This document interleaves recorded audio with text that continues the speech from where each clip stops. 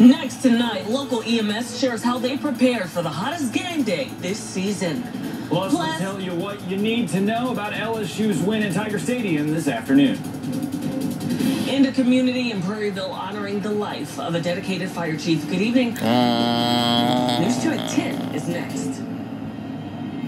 At Gordon McKernan Injury Attorneys, we've been fighting for our clients in the capital region for over 30 years. We've recovered over $3 billion for our clients. Now your local hometown attorneys are ready to go to work for you. Just call me. Get it done.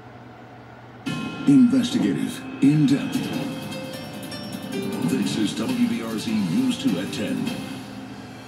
First tonight, another win at home in Tiger Stadium today. News 2's Jack Schimmel joins me in the studio right now covering LSU's victory over the UCLA.